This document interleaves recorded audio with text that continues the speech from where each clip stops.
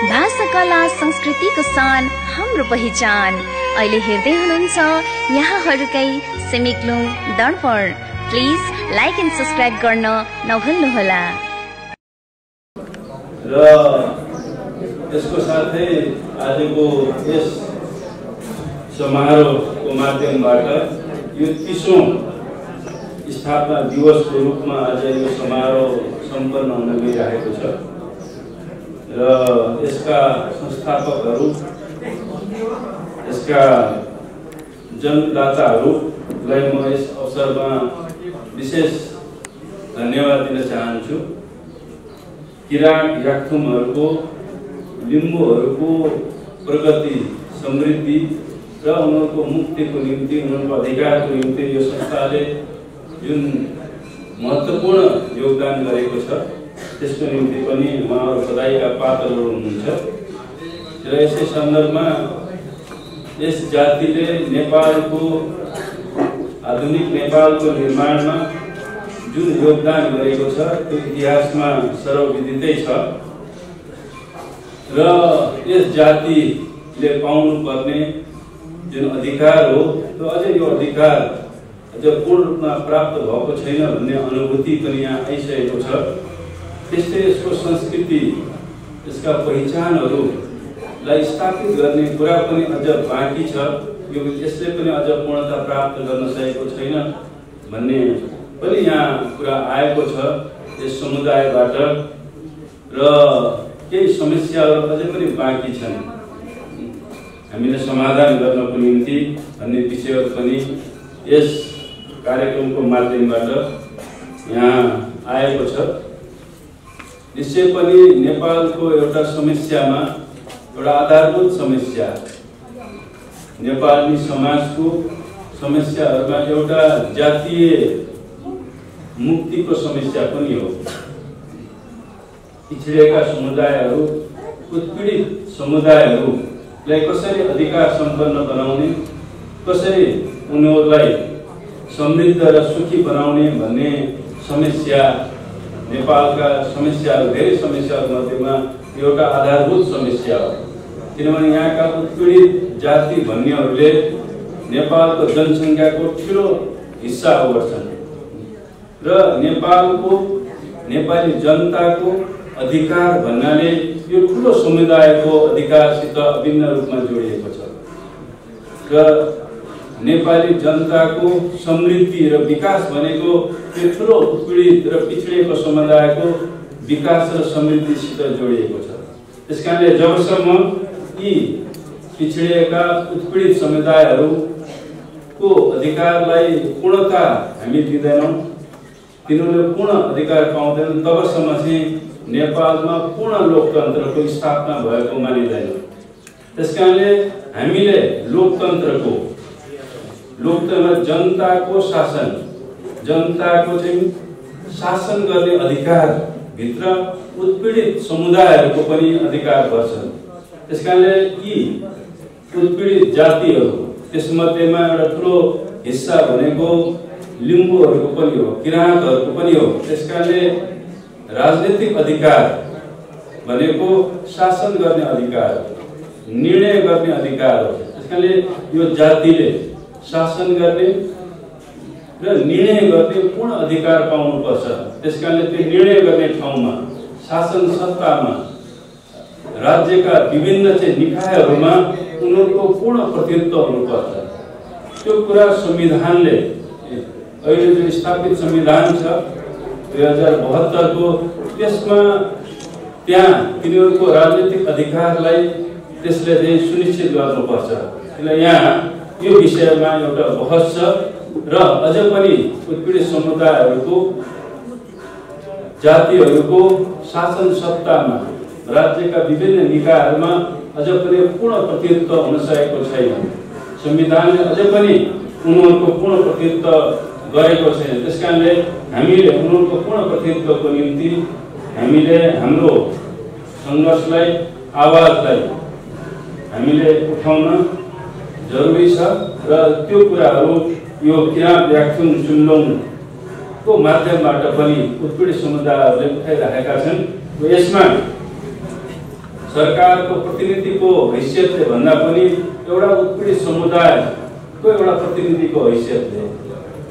म तपाईँहरूको यो आवाजमा म एकैवटा जाहेर गर्न चाहन्छु र यो कुरा अहिले राजनीतिक रूपमा अहिले त सदनमा चलेको छ र यी जनताहरूको उत्पीडित समुदायहरूको जो उत्पीडित जातिहरूको लिङ्गहरूको महिलाहरूको पनि पूर्ण प्रतिनिधित्व हुनुपर्छ भन्ने आवाज उठिरहेको छ र संविधान संशोधनको माध्यमबाट हामीले उत्पीडित जातिहरूको चाहिँ अधिकारलाई चाहिँ पूर्णता दिने र सुनिश्चित गर्ने कुराहरू हामीले सदन मार्फतबाट पनि हामीले अगाडि बढाउनेछौँ। यसै सन्दर्भमा पहिचानको यहाँ विधाको पनि कुरा आएको छ। अहिले राज्यले सरकारले छिटोभन्दा छिटो एउटा समृद्ध नेपालको निर्माण गर्ने जो एउटा दरिद्र नेपाल छ गरिब नेपाल छ पिछडिएको नेपाल छ यसलाई छिटोभन्दा छिटो हामीले एउटा समृद्ध बनाउने छिटोभन्दा छिटो यसलाई विकसित मुलुकको रूपमा यसलाई स्थापित गर्ने भन्ने एउटा लक्ष्य अहिले मूल लक्ष्यको रूपमा हामीले यसलाई हामीले स्थापित गरेका छौँ निर्धारण गरेका छौँ। र यसै सन्दर्भमा यो विधाहरूको कुरो पनि आएको हो। र हामीले विकास र समृद्धिको निम्ति बढी काम गर्नुपर्ने हुन्छ बढी श्रम गर्नुपर्ने हुन्छ। त्यस कारणले यसलाई हामीले यहाँ विधासित जोडिएको हो र यो सरकारको गठन भइसकेपछि नेपालमा जो विधा दिँदै आइएको थियो सार्वजनिक विधा जो सरकारी कर्मचारीहरूको निम्ति यसमा कटौती गर्नुपर्छ र श्रम घन्टाहरूलाई चाहिँ बढाउनुपर्छ। र विधा र विश्रामको समयलाई घटाउनुपर्छ भन्ने उद्देश्यसहित यो विधाहरूमा कटौती गरिएको हो।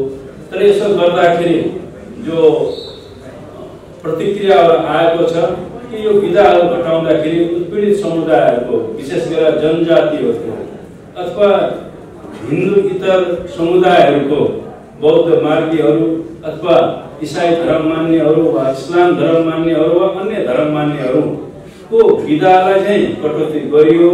तर हिन्दू धर्म मान्नेहरूको चाहिँ विधालाई चाहिँ कटौती गरिएन। अथवा त्यहाँले पक्षपात भयो भन्ने कुरा आएको छ र यसले एउटा विभेदलाई कायम राखेको छ। त्यही कारणले एउटा समानता धर्मनिरपेक्ष राज्यको संविधानले घोषणा गरिसकेपछि त्यो अनुसारको सबै धार्मिक समुदायहरू सबै धर्महरूको एउटा समान रूपमा सम्मान हुनुपर्छ र उनीहरूलाई त्यो अधिकार हुनुपर्छ भन्ने जो आवाज यो विधा सम्बन्धी जो नीति सरकारले लिएको छ त्यसले निश्चय पनि सरकारको ध्यान आकर्षित गरेको छ र म यो समारोह माध्यमबाट जो आवाज तपाईँहरूले उठाउनु भएको छ विभिन्न अरू अल्पसङ्ख्यक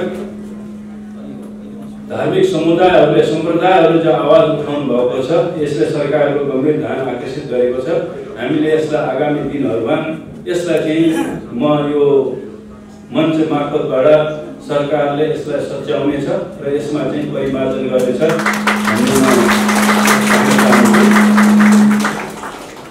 त्यस्तै कतिपय अहिलेको जो मुलुकी संहिता अथवा नयाँ मुलुकी ऐन जारी गरेको छ र यसमा पनि कयौँ त्रुटिहरू छन् भन्ने कुरो पनि उठेको छ। विशेष गरेर धार्मिक धर्मको सम्बन्धमा।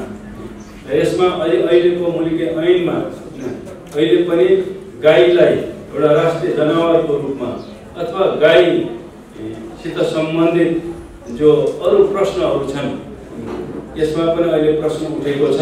निश्चय पनि अहिले यो सन्दर्भमा पनि अहिले सदनमा यो बहस उठेको छ। र यसलाई पनि हामीले यो कानुनलाई परिमार्जन गर्ने संशोधन गर्ने र धर्मनिरपेक्षताको मर्म अनुसार ती कानुनहरूलाई पनि सच्याइनेछ जो पुरानो कानुन थियो हिन्दू राज्य हुँदाखेरिको त्यही पुरानो चाहिँ मुलुकी ऐनको रूपमा हिँडेको अहिले यो संविधान जारी भएको छ नयाँ संविधान धर्मनिरपेक्षताको संविधान त्यही अनुसार चाहिँ यो कानुनहरूलाई पनि सच्याइनुपर्छ भन्ने आवाज उठेको छ। यसमा पनि सरकारको ध्यान आकर्षित भएको छ र अहिले सदनमा यो बहस छ। त्यस्तै अन्य प्रश्नहरू पनि महिलाहरूको प्रश्न छ। दलितहरूको प्रश्नहरू छ यो जो ठुलो हाम्रो जनसङ्ख्याको ठुलो हिस्सा यो बारेमा पनि अहिले सदनमा गम्भीर रूपमा बहस चलिरहेको छ र सदनले नै यी प्रश्नहरूलाई एउटा लोकतान्त्रिक ढङ्गले जनताको अधिकारलाई स्थापित गर्ने कुराहरूमा चाहिँ निश्चय पनि अहिले चाहिँ सदन चलिरहेको छ। त्यसले यो समस्यालाई चाहिँ राजनीतिक रूपमा चाहिँ हल गर्नेछ भन्ने पनि म यहाँ स्पष्ट गर्न चाहन्छु। र अहिले उत्पीडित जातिहरू पिछडिएका जातिहरूको विकास र समृद्धिको निम्ति पनि सरकारले योजनाहरू अगाडि ल्याएको छ। हामी एउटा छोटो समयभित्र नेपाललाई एउटा समृद्ध मुलुकमा हामी स्थापित गर्न चाहन्छौँ।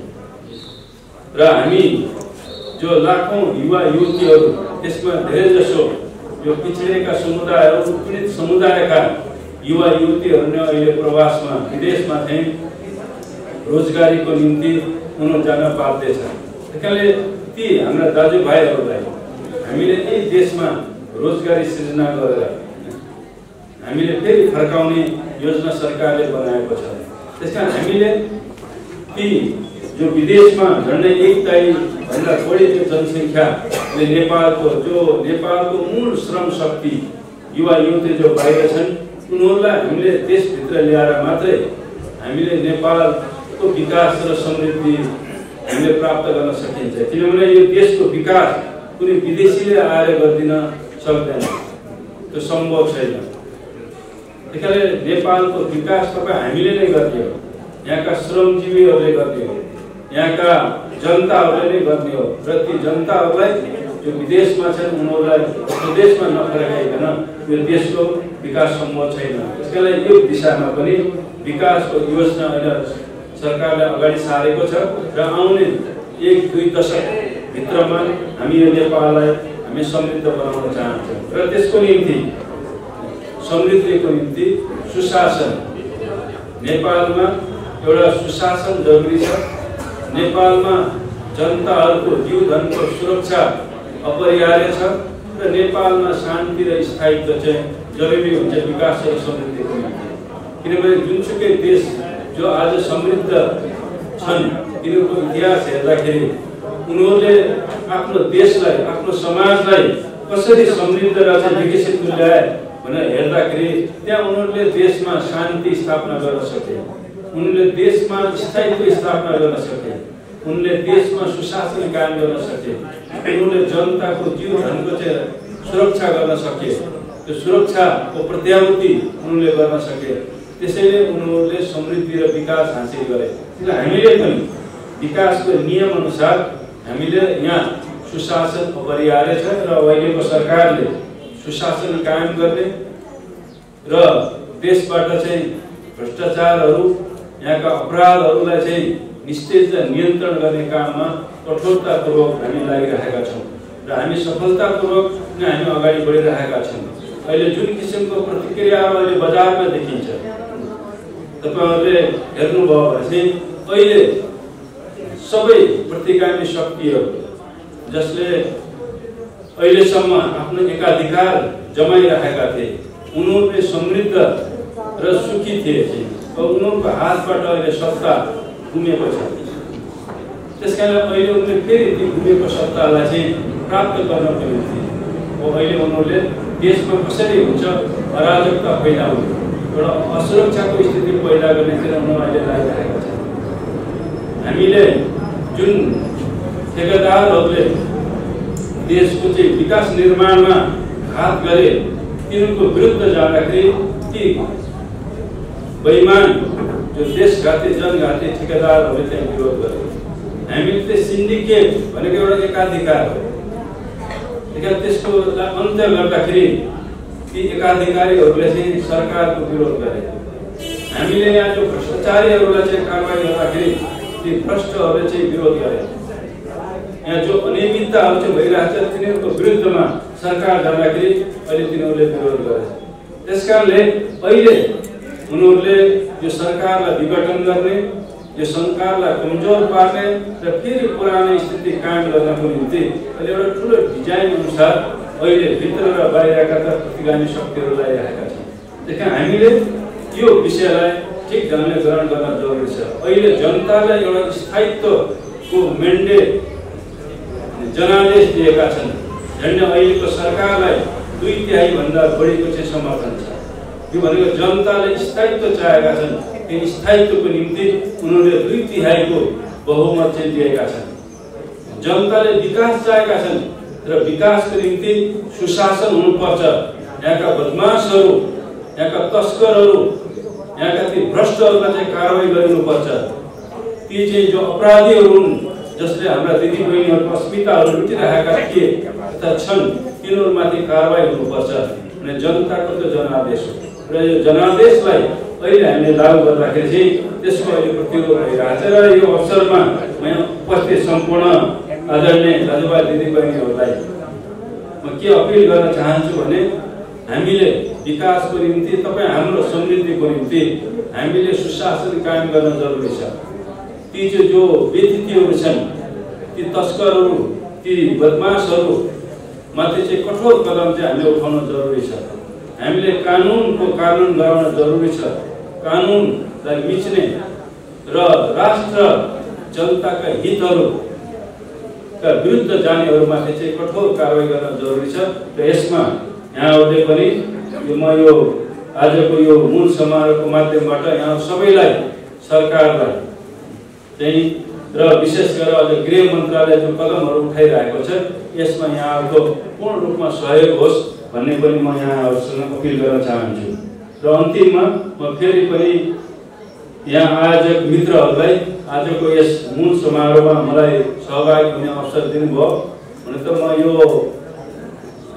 तपाईँहरूको यो भवनमा यहाँको तपाईँहरूको यो कार्यालयमा म पहिला पनि एक दुईपटक आइसकेको छु। यहाँको कार्यक्रममा त्यहाँ चुनाउको कार्यक्रममा।